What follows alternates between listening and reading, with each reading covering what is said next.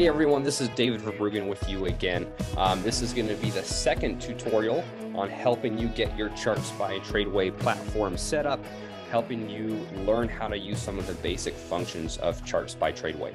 If you haven't seen the first one yet, go ahead and check that out. Um, that one, we went over some good things on how to uh, just navigate around the platform, how to get some settings uh, set up, how to insert your uh, virtual account.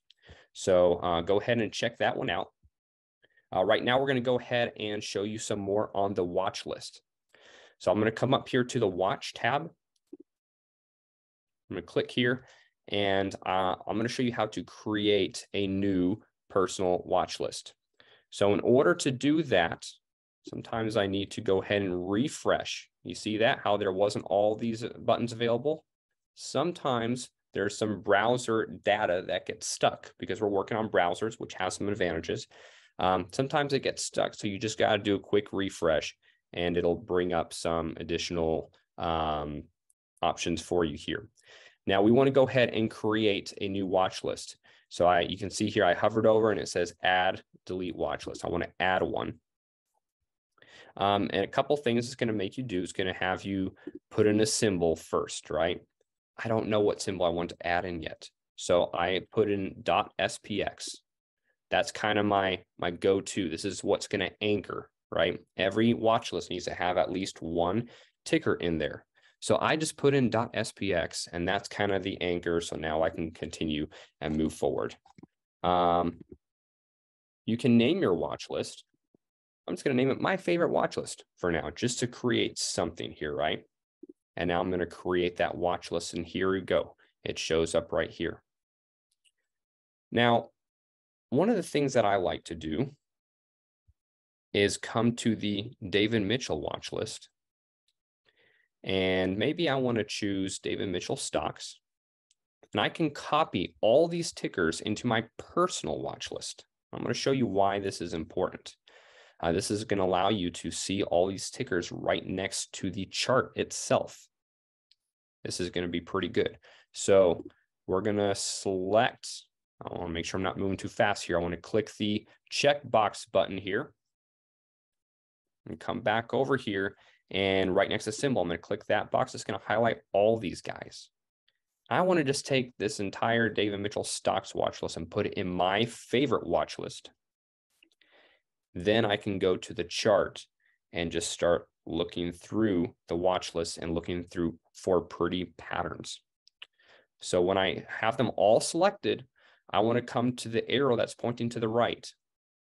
I'm going to send the symbols to a selected watch list. You click that, and I want to send it to my favorite watch list. Symbols have been added. Now I can come back to my favorite watch list and I can see all these guys here. What that allow me to do is come back to the chart and you can see where it says recent. This is kind of like a history. So Apple just comes up there automatically. Let's say I want to look at Nike. Yep, then that pops up and there's another one. Say I want to look at Southwest Airlines. There's another one but I want to go ahead and see that new watch list I just created. So I click on recent and I can look at all the personal watch lists. You won't see the David Mitchell watch lists in here because system watch lists can't be edited, which is simply why I copied the system watch list into a private or my personal watch list so that I can edit this. So here we go. Here's my uh, my favorite watch list. You know, that's that's what it um what I called it here. And I got all these tickers on the left here. You can scroll through them all and see them all. From here, I can go ahead and just start looking through and finding pretty patterns and drawing some lines. Drawing the lines, of course, is going to be important so that we can see the patterns clearly. Let's start with this first one right here. Let's just draw a few lines that we can see. The line drawing tool is located right here see where it says trend lines. If I click on that, I'm going to have several options. The one I use most is going to be lines. I select that. And what I want to do is click and release, drag my mouse, click and release. If you click and drag, what you're accidentally doing is wanting to zoom in. And then you're going to get some weird looking thing. Don't freak out. Just come up here, click reset zoom. Brings you right back. Now, once you figure out, oh, I kind of like the zoom feature, yes, you can click and drag a certain cross section and it'll zoom right into that and you can get a clear idea of what's going on. Once you're done, reset zoom.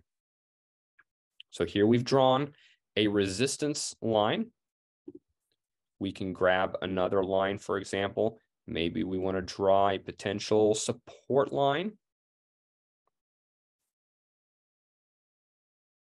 Once we're done with that, we can move on to another chart. Let's look at RMBS. Let's show some of the other drawing tools in here. What about a ray? What does the ray do? A ray is going to go um, kind of to infinity. So if I start my line here, you can see how I now have, uh, we, we can put it right there. It's not going to be a perfect line on the bottom. But I now have a line going to the left and to the right into infinity. The previous one, it was just, you know, there's a, a definite start and stop to the line. The ray just goes into infinity.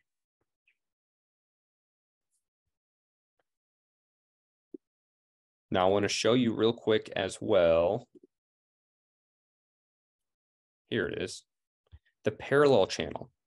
Okay, so let me show that in a second here, but I'm going to go in. If I want to get rid of a line, I'm going to click this line and I'm going to delete that line. I want to do that so I can show you the parallel channel. Parallel channel is going to be like a line, but you can go ahead and automatically do uh, an exact parallel resistance and support if you want. Now I didn't I didn't draw this perfectly in here. It's not a not a perfect trend. And you may not like, oh, I don't like how that looks red. Yeah, I don't either. That's okay. We can click on it and we can change the background color or even easier, just change the transparency all the way to the left and then it'll get rid of that. So now it's fully transparent. And there's your parallel channel. All right, let's click on another one. Let's do some more of these.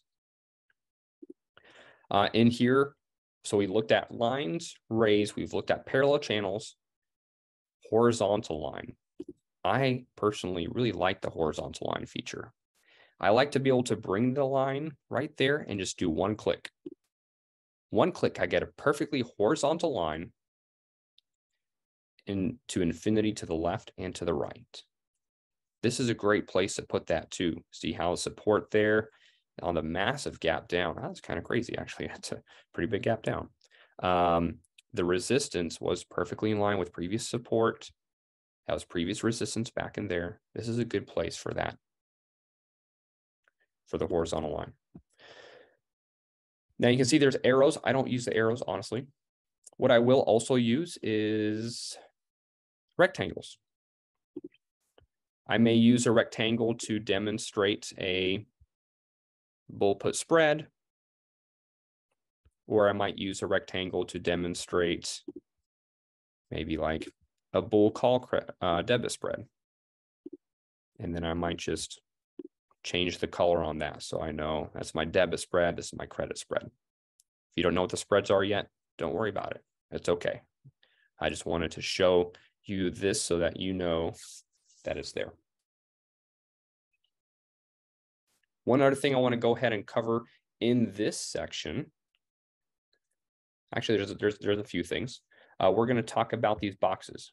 You can see these boxes here. You might be thinking, oh, they're all green. That looks kind of cool. Yeah, that is nice. Well, what do those boxes mean? Let's go ahead and look at the legend down below. If I click on this legend, it's going to give me the information I need. So the first box is technicals, right? And so um, it can either be positive, neutral, or negative. Now for technicals, we definitely want to get our eyes on the chart as well. Um, technicals doesn't, you know, green technicals doesn't mean that's a pretty pattern. Um, it's just that the the technicals, for the most part, recently have been bullish. Inner circle is going to relate to the big boys and if they're invested or not, right? So green, yes, the big boys are in. Yellow, oh, they're kind of in, or red, the big boys are not in. Valuation really has to do with is the stock on discount? So if it's a green, then it's it's a good buy. Doesn't mean that it's at a good buy point. Doesn't mean that the chart is pretty. It just means that um, you could say that stock is on sale. If it's yellow, it's a fair price. And if it's red, then that means it's really overpriced. You're going to be paying uh, potentially too much for that stock if it's red valuation. The fundamentals box is probably my favorite box.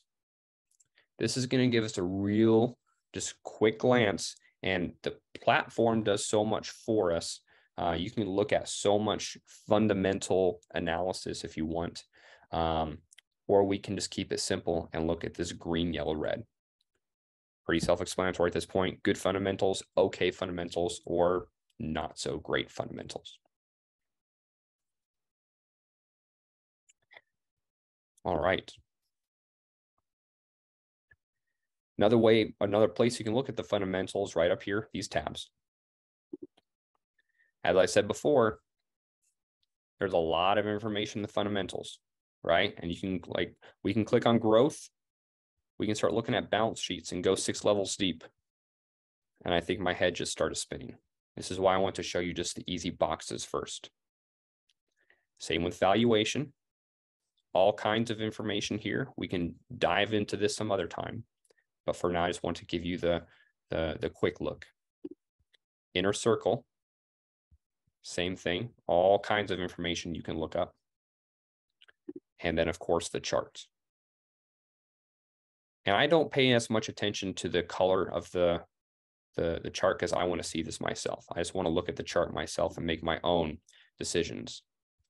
This one, for example, very nice looking chart. So how I start to process this, my personal watch list here, you know, I might start with a David Mitchell watch list, and then I might um, look through these and start throwing out charts that I don't like. Ooh, what about this one?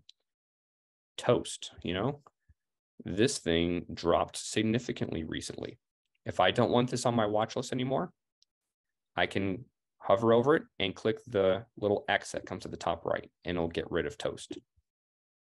Now I can look at CPA. All right, that one's okay. I like that one. I'm going to keep that. Oh, this one's moving down, right? Lower lows, lower highs. Maybe I want to get rid of that. We're not going to go through this whole list right now, but I just wanted to show you that process. But you can go through that whole list and you might take the 50 or 60 tickers and narrow it down to 20 really pretty patterns. Now, let's say you find a stock and um, let's pretend it's CrowdStrike, right? Like, oh, wow, this is a really pretty pattern. Maybe it's not on your watch list. Here's how we can quickly add it to the watch list.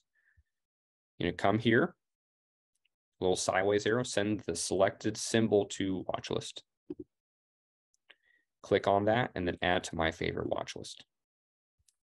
It's been added. I'm going to close this. And now I can come back to my favorite watch list. All right. Uh, well, this is the end of the second tutorial. I recognize certain areas I might have gone through pretty quickly. Please go ahead and feel free to rewatch this. You can pause me at any time, of course, and just back it up 10 seconds. Oh, what do you say there? So um, I want this to be helpful for you as well. So rewatch it as many times as you need.